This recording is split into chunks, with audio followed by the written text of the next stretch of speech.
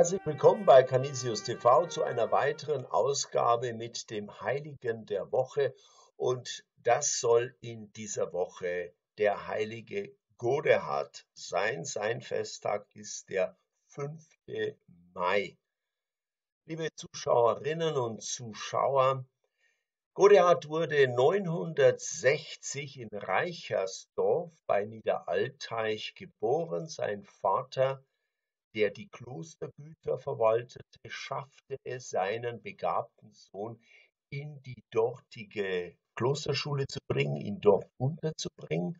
Und der Junge sollte das in ihn investierte Vertrauen in jeglicher Hinsicht rechtfertigen. Äh, schnell wurde er zum Priester geweiht und vier Jahre später war er schon Abt in seinem heimatlichen Kloster Niederalteich. Aber wie das schon immer so war, wer in der Kirche aus dem grauen Durchschnitt herausragt, an den werden sehr schnell größere Aufgaben herangetragen. Sogar der Kaiser Heinrich war auf ihn aufmerksam geworden und sorgte für die Versetzung aus Bayern nach Hildesheim, wo er heute noch eine hohe Verehrung genießt, denn er wurde Nachfolger des dortigen heiligen Bernward von Hildesheim und bis heute noch gibt es neben dem Dom, das größte Gotteshaus in Hildesheim, die Godehard Basilika. Der Mann hatte ein Talent zum Baumeister und hat sich für den Kirchbau seiner Zeit verdient gemacht.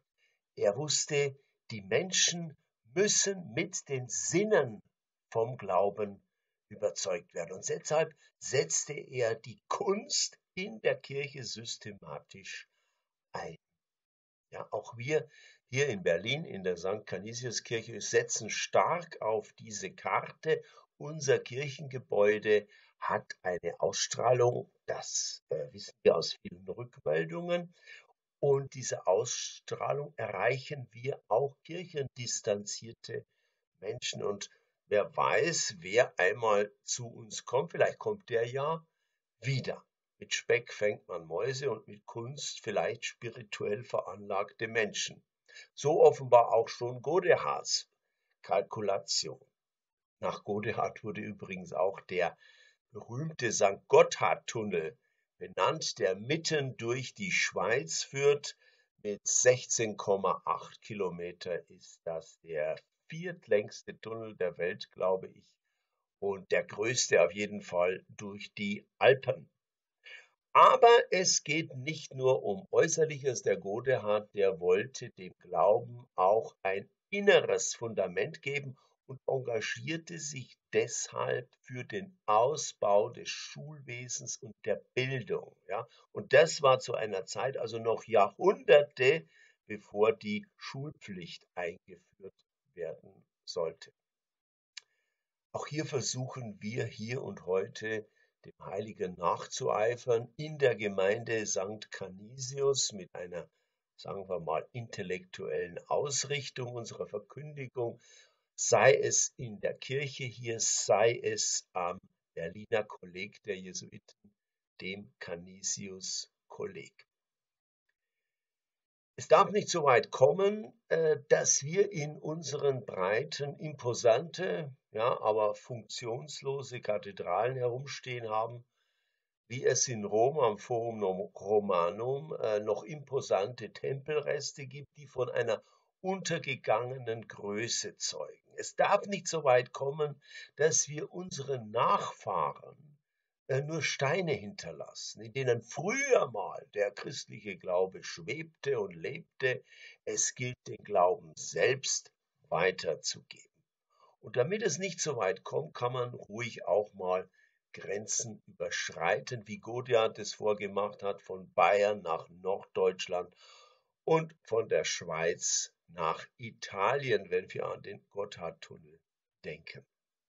Das christliche Abendland konnte nur ein von christlicher, christlicher Kultur geprägter Kontinent werden, weil Leute wie Godehard die angestammte Heimat, das ist jetzt nicht nur lokal zu verstehen, weil Leute wie Godehard die angestammte Heimat, das Vertraute verließen und einen Neuaufbruch wagten. Den brauchen die Kirchen in unseren Breiten heute mehr denn je. Heiliger Godehard, bitte für uns. Ich bete. Allmächtiger Gott, der heilige Godehard hat Spuren hinterlassen. Wir bitten dich um einen Neuaufbruch unserer Kirchen in Europa. Lass uns wie Godehard die heimatliche Idylle verlassen, zu neuen Ufern und Formen von Kirche zu gelangen. Unsere Kirchengeschichte ist Last und Schatz zugleich. Viele Touristen besuchen Kirchenland auf und Land ab.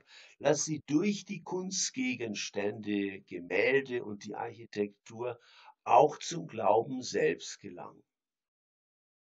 Wir beten in einer kurzen Stille in unseren persönlichen Sorgen und Nöten.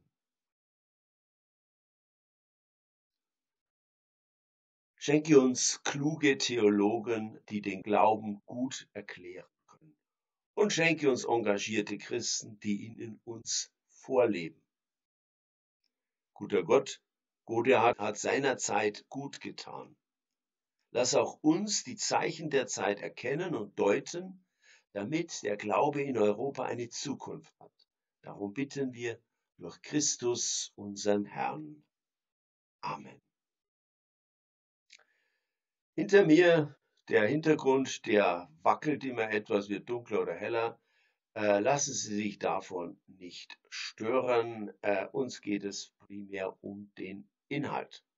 Ich darf Sie noch einmal segnen. Der Herr segne dich und behüte dich. Der Herr lasse sein Angesicht über dir und in deinen leuchten und schenke dir seinen Frieden. Der Vater und der Sohn und der Heilige Geist. Amen. Alles Gute bis zum nächsten Heiligen der Woche oder eben bis morgen. Und ich sage einmal mehr Tschüss bis morgen.